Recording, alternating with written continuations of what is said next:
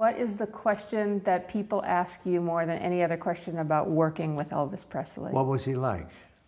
And I said, Well, he was a sweet guy who called me sir when we talked, and I would kept wanting to say to him, Hey, buddy, you're the star. I'm just, but he, he would, and we also had a scene that was in what they, what they used to call a, oh, rear projection.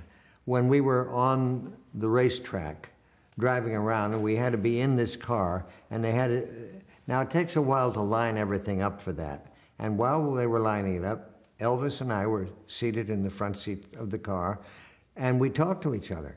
And uh, so I asked him the usual questions about how he started, and he told me all uh, the stories must be true because they were they sounded like the same. He'd gone in to record uh, a song for his mo- for Mother's Day for his mother, and and while in between takes, they were he and his buddies would jam a little, and somebody said.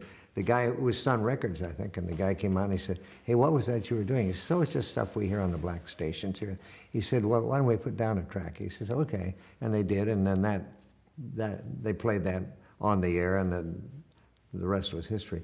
But he was just a really nice guy, and the people around him were all his buddies who'd been with him for ages, and so it was a very warm atmosphere for him. And they were nice guys, you know. They were all musicians, and most musicians are funny or otherwise nice. So, I, I, he it was a pleasure working with him.